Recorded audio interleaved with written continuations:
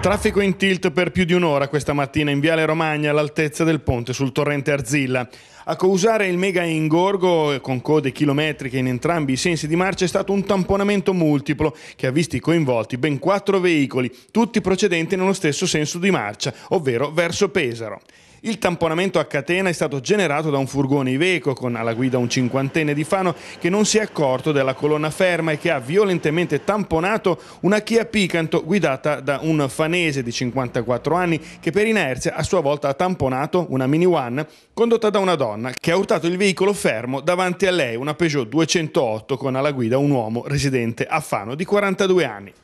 a creare uno stallo nella viabilità e le code, oltre alla carreggiata sul ponte particolarmente stretta, la necessità di rimuovere con il carro attrezzi la Kia tamponata dal furgone che ha avuto la peggio. Carro attrezzi che ha tardato alcuni minuti perché è rimasto anch'esso imbottigliato nelle code formatesi.